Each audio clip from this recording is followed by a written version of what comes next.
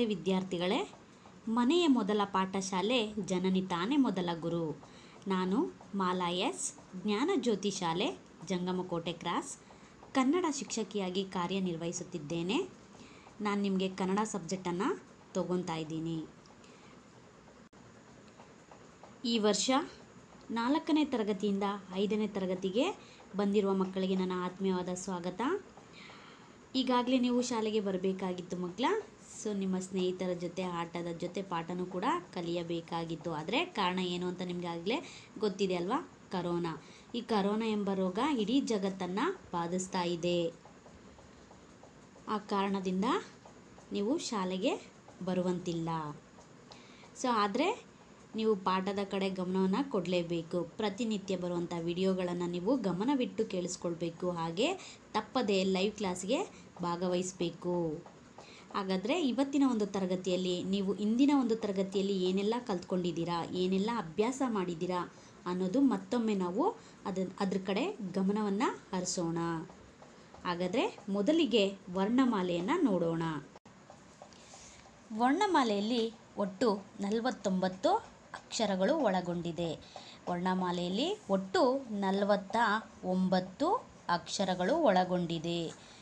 ಅದರಲ್ಲಿ ನಾವು ಅನೇಕ ರೀತಿಯಾಗಿ ಭಾಗಗಳಾಗಿ ವಿಂಗಡಣೆಯನ್ನು ಮಾಡಿದ್ದೀವಿ ಮಕ್ಕಳ ಸೊ ಅದು ಯಾವ್ದ್ಯಾವುದು ಅಂತ ಕೂಡ ನಾನು ಇಂದಿನ ತರಗತಿಯಲ್ಲಿ ನಿಮಗೆ ಈಗಾಗಲೇ ತಿಳಿಸ್ಕೊಟ್ಟಿದ್ದೀನಿ. ಮತ್ತೊಮ್ಮೆ ನೋಡೋಣ.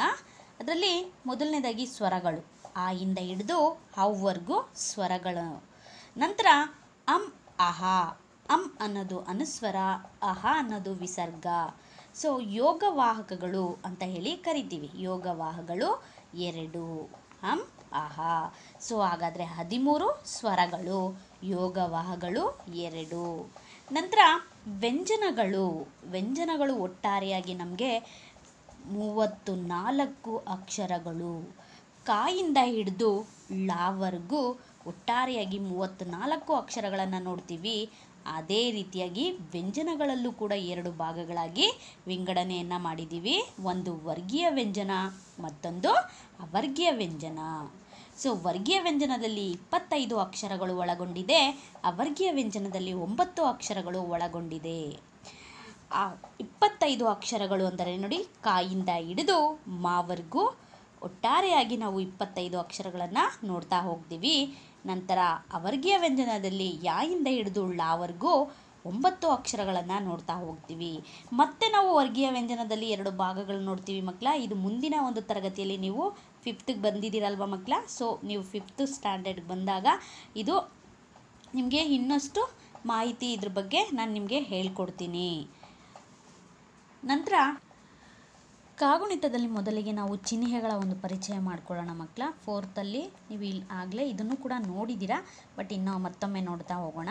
ನೋಡಿ, ಇದು ತಲಕಟ್ಟು, ದೀರ್ಘ, ಗುಡಿಸು, ಗುಡಿಸಿನ ದೀರ್ಘ, ಕೊಂಬು ಕೊಮ್ಮನ್ ದೀರ್ಘ ಒಟ್ರುಸುಳಿ ಏತ್ವ ಏತ್ವನ್ ದೀರ್ಘ ಐತ್ವ ಓತ್ವ ಓತ್ವನ್ ದೀರ್ಘ, ಹೌತ್ವ, ಅನುಸ್ವರ, ವಿಸರ್ಗ. ನಂತರ ಕಾಗುಣಿತವನ್ನು ನೋಡ್ತಾ ಹೋಗೋಣ. ನೋಡಿ, ಕಾತಲಗಟ್ಟು ಕ, ತಲಕಟ್ಟು. ನೋಡಿ, ನಾನು ಹೇಳೋ ಚಿಹ್ನೆಯ ಸಮೇತ ಬಂತು. ಇದೇ ಥರ ನೀವು ಕಾಗುಣಿತವನ್ನು ಪ್ರಾಕ್ಟೀಸ್ ಮಾಡ್ಕೊಬೇಕು. ನೀವು ಕಕ್ಕ, ಕಿಕ್ಕಿ ಅಂತ ಹೇಳಬಾರ್ದು. ಓಕೆನಾ ಮಕ್ಕಳ ಸೊ ಕಾತಲಗಟ್ಟು ಕ, ಕಾ ದೀರ್ಘಾಕ, ಕಾ ಗುಡಸೂಕಿ ಕಗುಡ್ಸಂದೀರ್ಘಾಕಿ ಕಾ ಕಂಬೋಕು ಕಕಮಂದೀರ್ಘಾಕು ಕಾ ಕೊಟ್ರೆ ಸುಳಿಕ್ರು ಕಾಕೆ ತ್ವಾಕೆ ಕಕೆ ತೊಂದೀರ್ಘಾಕೆ ಕಾ ಕೈ ತ್ವಾಕೈ ಕಾಕೋ ತ್ವಾಕೋ ಕಕೋ ತ್ವಂದೀರ್ಘಾಕೋ ಕಾಕೌ ತ್ವಾಕೌ ಕಾಕನ್ ಸನ್ನೆ ಕಂ ಕಾಕೆಳ್ ಸನ್ನೆ ಕಹ. ಸೊ, ಇದೇ ಥರ ನೀವು ಮನೆಯಲ್ಲೂ ಕೂಡ ಅಭ್ಯಾಸ ಮಾಡ್ಕೊಳ್ಬೇಕು, ಕಕ್ಕ ಕಿಕ್ಕಿ ಅಂತ ಹೇಳಬಾರ್ದು. ಓಕೆನಾ ಚಿಲ್ಡ್ರನ್? ನಂತರ ಒತ್ತಕ್ಷರಗಳು. ಈಗಾಗಲೇ ನೀವು ಒತ್ತಕ್ಷರಗಳು ಕೂಡ ಅಭ್ಯಾಸ ಮಾಡಿಕೊಂಡು ಬಂದಿದ್ದೀರಾ. ಸೊ, ಕಾಗೆ ಕಾವತ್ತಕ್ಷರ. ಖಾಗೆ ಘಾವತ್ತಕ್ಷರ, ಘಾಗೆ, ಘಾವತ್ತಕ್ಷರ. ಸೊ ಇವುಗಳನ್ನು ನಾವು ಒತ್ತಕ್ಷರಗಳಂತೇಳಿ ಕರಿತೀವಿ. ಇದು ತುಂಬ ತುಂಬ ವೆರಿ ವೆರಿ ಇಂಪಾರ್ಟೆಂಟು ಮಕ್ಕಳ ಸೊ ನಾನು ಬೇಕಾಗಿರುವಂಥ ಒಂದು ಒತ್ತಕ್ಷರಗಳನ್ನು ಮಾತ್ರ ತಗೊಂಡೆ. ನಿಮಗೆ ಕಾಯಿಂದ ಹಿಡಿದು ಳಾವರೆಗೂ ಎಲ್ಲ ಒತ್ತಕ್ಷರಗಳು ಕೂಡ ಬರುತ್ತೆ. ಸೊ ಇನ್ನು ಮುಂದೆನೂ ಕೂಡ ಬರದೇ ಇರೋರು ಕೂಡ ಅಭ್ಯಾಸವನ್ನು ಮಾಡಿಕೊಳ್ಬೇಕಾಗುತ್ತೆ. ಸೊ ನಂತರ ಕನ್ನಡ ಅಂಕಿಗಳು ಕೂಡ ವೆರಿ ವೆರಿ ಇಂಪಾರ್ಟೆಂಟು ಮಕ್ಕಳ. ನಿಮಗೆ ಸೊ ಕನ್ನಡದಲ್ಲಿ ಅಂಕಿಗಳನ್ನು ಬರೀರಿ ಅಂತ ಅಂದಾಗ ಅಂಕಿಗಳಲ್ಲಿ ಬರಿಬೇಕು, ಅಕ್ಷರಗಳಲ್ಲಿ ಅಂತ ಬರೀರಿ ಅಂದಾಗ ಅಕ್ಷರಗಳಲ್ಲೂ ಕೂಡ ನೀವು ಬರಿಬೇಕಾಗುತ್ತೆ. ನಂತರ ವಿರುದ್ಧ ಪದಗಳು. ಸೊ ಆಪೋಸಿಟ್ ವರ್ಡ್ಸು ಕೂಡ ನೀವು ಇಂದಿನ ಒಂದು ತರಗತಿಯಲ್ಲಿ ಕಲ್ತ್ಕೊಂಡಿದ್ದೀರಲ್ವ ಮಕ್ಕಳ? ಶಿಸ್ತು, ಅಶಿಸ್ತು, ವೀರ, ಹೇಡಿ. ಸಮಾನಾರ್ಥಕ ಪದಗಳು ಸಾಗರ, ಸಮುದ್ರ, ಕಡಲು, ಶರದಿ. ಸೊ ಸಾಗರಕ್ಕೆ ಎಷ್ಟೆಲ್ಲ ಒಂದು ಸಮನಾಗಿರುವಂಥ ಪದಗಳು ಬರುತ್ತೆ ಅನ್ನೋದನ್ನು ನಾವು ಇಂದಿನ ಒಂದು ತರಗತಿಯಲ್ಲೂ ಕೂಡ ಅಭ್ಯಾಸ ಮಾಡಿದ್ವಿ. ತಾಯಿಗೆ ಇರು, ಅಪ್ಪ ಮಗ, ಈ ಥರ ಎಲ್ಲ ಪದಗಳಿಗೂ ಕೂಡ ನಾನು ನಿಮಗೆ ಉತ್ತರಗಳನ್ನು ಬರೆಸಿದ್ದೆ.